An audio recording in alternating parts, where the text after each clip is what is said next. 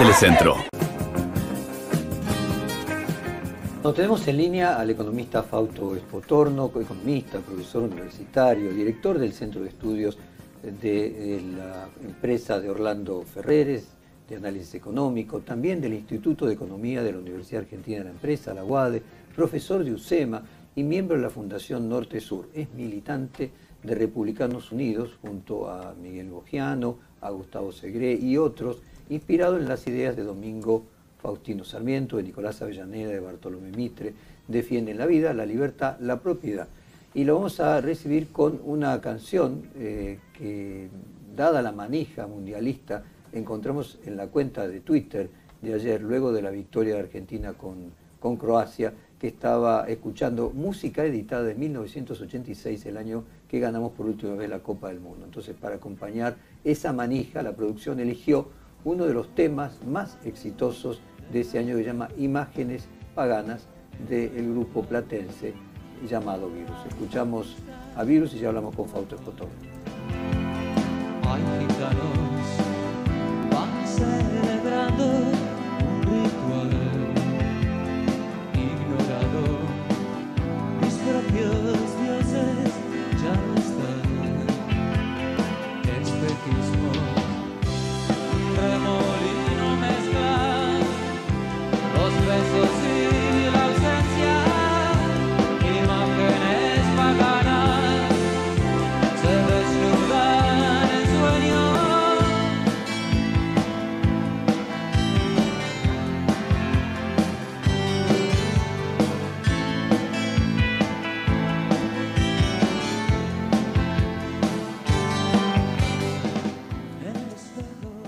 buenos días, Fausto Potorno, Jorge Fontevecchia te saluda.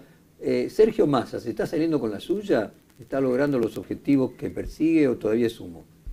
¿Qué tal, Jorge? ¿Cómo andás?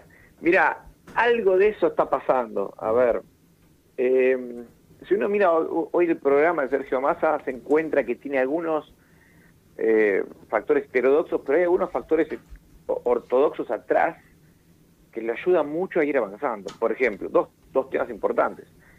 Uno ve el crecimiento del gasto público y en realidad hoy el gasto público es negativo. Está creciendo menos que la inflación y ya estimamos que para fin de año vas a ver, vas a, vas a tener un gasto público que esté consolidando nación, provincias y municipios en 39% del PBI, lo cual es el gasto público más bajo de la última década en Argentina, ¿no? Eh, al- además, vos tenés que no está creciendo la cantidad de dinero. Y esos dos factores, sumado a, tratar de a continuar la renovación de deuda, etcétera, está permitiendo que la cosa avance. Ahora, la pregunta del millón es, ¿es sostenible todo eso? ¿Es sostenible que el gasto público se mantenga bajo en un año electoral? ¿Es sostenible que la emisión monetaria se mantenga tan baja siendo que estás teniendo enfrente los próximos 10 meses casi 11 billones de pesos de vencimiento de deuda que no sabes cómo lo vas a renovar? Eh, y ni contar el problema del Banco Central de las LELIX, que hoy es el, el- principal déficit del Estado. Eh, eh, estamos hablando de que el déficit a esta altura del año del Banco Central va a ser de 7 puntos del PBI. 7, o sea, es mucho más grande hoy el déficit del Banco Central que el Banco del Tesoro, que, perdón, que el déficit del Tesoro. Entonces, la, la pregunta es si eso se puede sostener. Ahora, vos me dirás, bueno, pero más se lo quiere sostenerlo un año, no necesito sostenerlo para siempre, ¿no? Y ahí está la cuestión, ¿no? Esto es un programa que, así como está, es sostenible un año, por ahí, sin que reviente nada. Pero no es sostenible a largo plazo. Eh, Vos sabés que ayer, Fausto, hablábamos eh, con, con Gustavo González Sí. eh, y eh, él recordaba una nota, una columna que, que habíamos hecho en perfil eh, en el año 2018, a finales de 2018, comparando todos los pronósticos de los economistas a fines de 2017, cómo sería en 2018, y nadie le había pegado. Ni el Claro. Fondo, ni el Banco Mundial, ninguno de los estudios económicos, todos preveían inflación de 20%, dólar a 20 pesos en diciembre de 2018, y fue el doble, 40% de inflación, dólar a 40. Todos habían previsto más 3% de crecimiento de Producto Bruto y fue al revés, menos 3%. Y él decía que quería hacer lo mismo a fin de, este año, porque a fin del año pasado todos preveían que iba a ser un año sin crecimiento económico, eh, todos preveían una inflación la mitad de la que fue, bueno, al revés, fue un año con crecimiento económico, la inflación fue el doble. ¿A qué atribuís, eh, si es una cuestión de sesgo, eh, que se pronostica siempre mejores resultados para gobiernos no peronistas y para los gobiernos peronistas siempre se pronostican resultados peores? No, a ver, lo que pasa es que vos como economista en realidad vos ves tendencias, digamos, ¿no? Eh, entonces, sabes hacia dónde va la cosa, lo que no sabes exactamente cómo va a ir la cosa. Entonces, por ejemplo, cuando vos decís, mira, te voy a contar qué pasa con el crecimiento este año. Este año nosotros creo que habíamos estimado 3,5 de crecimiento para este año. Va a terminar en 5 y algo. Eh, Casi 6, ¿no? Eh, sí, 5 y medio posiblemente va a estar por ese, por ese rango. No sé si va a llegar a 6, pero va a estar por ahí. Ahora, ¿qué pasó? Todos sabíamos que era, cuando uno uno mira la, capacidad de, crecer de la economía, decía, bueno, se va a ir frenando porque no hay más capacidad de crecimiento. Y de hecho pasó eso. Pero, por ejemplo, tuviste un trimestre más, diría que el crecimiento vino, pensábamos que a mitad de año se iba a frenar y se terminó frenando en septiembre. ¿Qué es lo que tiró adicionalmente ese trimestre adicional? Fue, por ejemplo, fue básicamente que la gente decidió deshacerse de los pesos mucho más rápido de lo que pensábamos y salió a consumir todo lo que había. Salió a consumir inventarios, stocks, eh, ropa, etcétera, restaurantes, hoteles.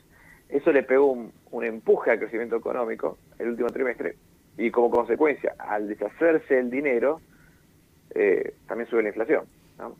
Entonces, vos podés, pero ¿qué pasó? A la larga, terminado el trimestre, la economía se frenó como esperábamos todos, pero dio ese trimestre adicional de crecimiento que, que no estaba dentro de los cálculos. Y también te dio un plus de inflación que tampoco estaba en los cálculos, porque si vos ves la proyección de inflación... Exacto. La inflación el doble de lo que había calculado, el crecimiento el doble de lo que se había calculado. Exactamente. Es lo mismo que el 2018, el doble de inflación, el doble del valor del dólar. ¿no?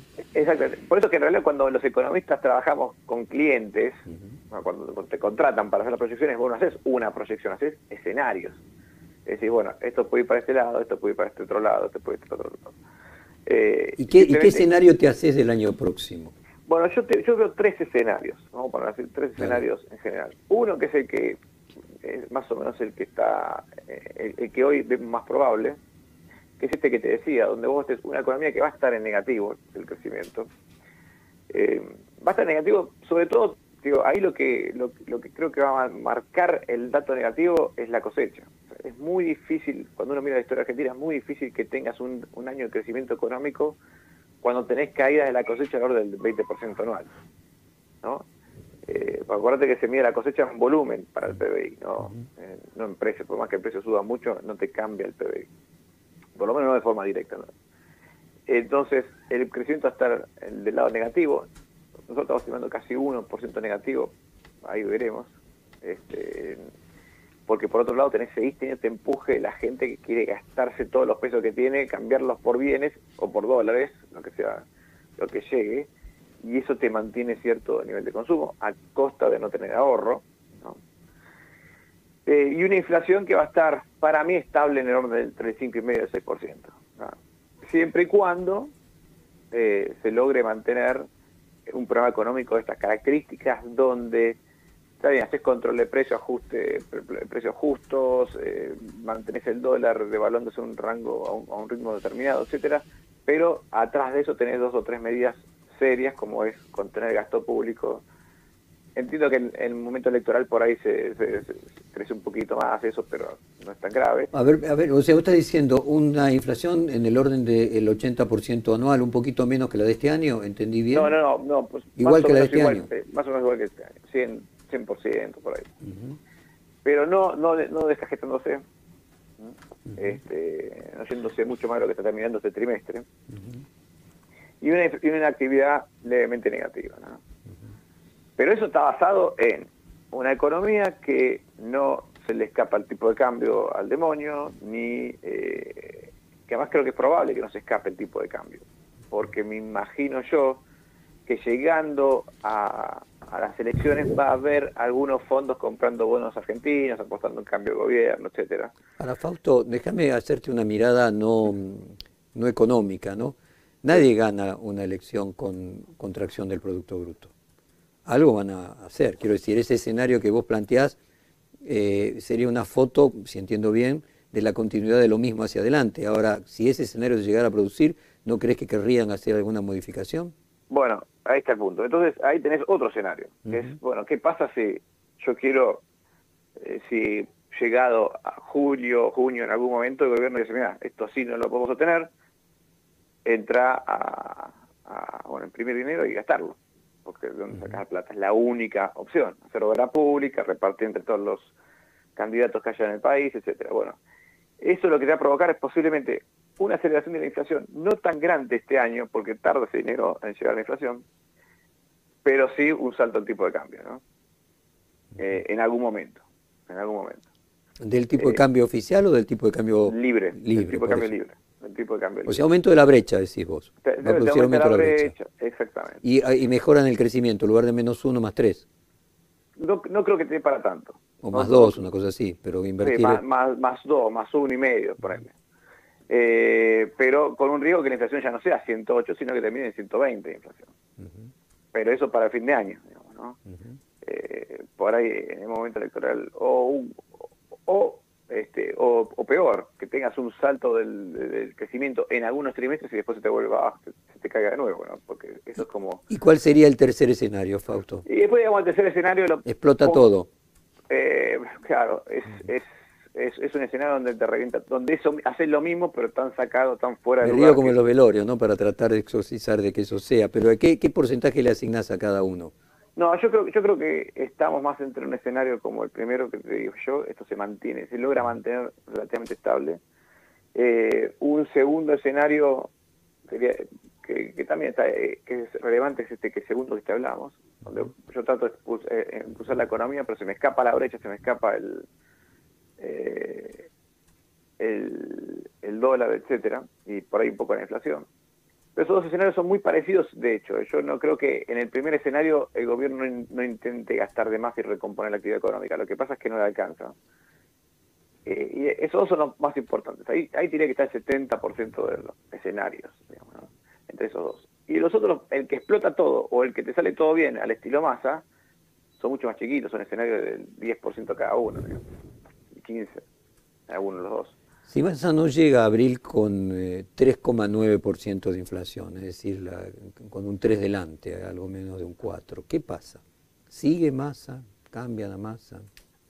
No, yo creo que yo creo que no hay opción de cambiarlo a Massa. O sea, a esta altura, Massa fue la última carta. Acordate lo que era sin Massa esto. Este, el ministro de Economía está bombardeado continuamente del lado interno eh, y, y- y no se podía hacer nada y cada vez que, que Massa año tendría que no- decir algo, si llega abril en lugar de 3,9, tiene 6.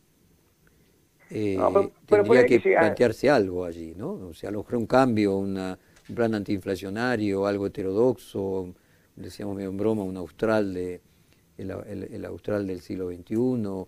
Viste que se especula con la idea de que Lula podría dar un préstamo de hasta 15 mil millones de dólares para reforzar las reservas del Banco Central y poder construir alguna forma de ancla cambiaria con un plan antiinflacionario más drástico.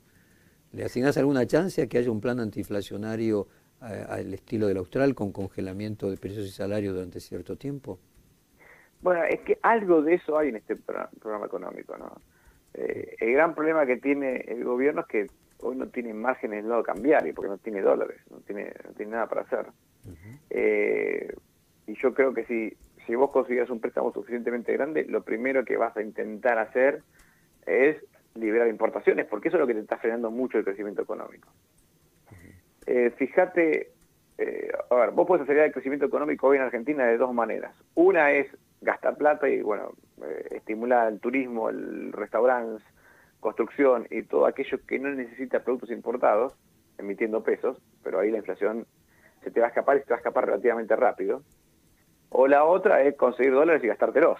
Gastártelos en que, bueno, abrirle las puertas a, a- a- a las importaciones, ¿no? Que tendría lógica respecto de que nosotros tenemos déficit comercial con Brasil y que entonces pues, se podría solucionar con un préstamo de Brasil, poder importar sin déficit comercial en Brasil y usar esos dólares para importar de otro lado. Exacto. Bueno, sí. ¿Podrías explicar para Lego, Fausto, la diferencia entre el déficit fiscal del Tesoro y el déficit fiscal, el déficit del Banco Central? Bueno, es muy sencillo. Eh, El, el Estado tiene cuatro partes, el Estado argentino, todo el Estado argentino, cuatro grandes áreas. El Estado Nacional, el Tesoro, que, que recauda impuestos y gasta en jubilaciones, salarios, obra pública, etcétera. Los estados provinciales, que también recaudan sus impuestos, además reciben ingresos del Estado Nacional y gastan también en salarios, jubilaciones, ahí ellos gastan en seguridad, salud y educación lo tienen las provincias y algo de obra pública, y los estados municipales, que también tienen ingresos por impuestos, por tasas, no por impuestos, reciben eh, coparticipación de las provincias y gastan en obra, obra pública, deberían gastar mayormente, y servicios municipales, ¿no? limpieza, etc. Y el cuarto área del Estado es el Banco Central. El Banco Central es el que domina el dinero. ¿Y qué, ingresos tiene el Banco Central? Bueno, un Banco Central como el argentino debería tener de ingresos los intereses que cobra por las reservas, porque el Banco Central tiene reservas por un lado y del lado de la deuda del Banco Central está el dinero. El dinero es deuda del Banco Central. Entonces, el Banco Central debería ser superavitario en un país como Argentina porque tiene in- intereses por las reservas y no paga intereses por el dinero. Sin embargo, este Banco Central tomó mucha deuda para esterilizar los pesos. O sea, como los pesos generan, si yo emito muchos pesos, más pesos de los que de los que necesito, me genera mucha inflación, el Banco Central durante muchos años, prácticamente dos décadas, estuvo emitiendo deuda, o sea, sacando pesos del mercado, vendiendo bonos. Pero esos bonos sí pagan interés. Y hoy esos bonos son mucho más grandes, son prácticamente dos veces la cantidad de dinero emitida y pagan un interés hoy del 100%. O sea, Y no tiene reservas. Entonces no tiene ingresos por lado de las reservas y tiene muchos intereses que pagar por lado los gastos. Y esa diferencia le genera un déficit. Esos intereses que paga por la deuda que emitió el Banco Central. Y eso es el déficit fiscal. ¿Cuál es el peligro de esto? Que tarde o temprano, como no tiene ingresos el Banco Central, todo el mercado asume que o los intereses o la deuda la va a tener que pagar con emisión monetaria. Por eso es que en general el mercado y la gente también le huye al peso, porque no estás emitiendo pesos hoy, pero estás emitiendo promesas de que vas a emitir pesos. ¿no? Y Fausto. eso es el gran peligro. Muchísimas, muchísimas gracias y volvemos con vos en cualquier momento y te volvemos a despedir con la canción del 86. Un fuerte qué abrazo. grande. Abrazo grande, Jorge.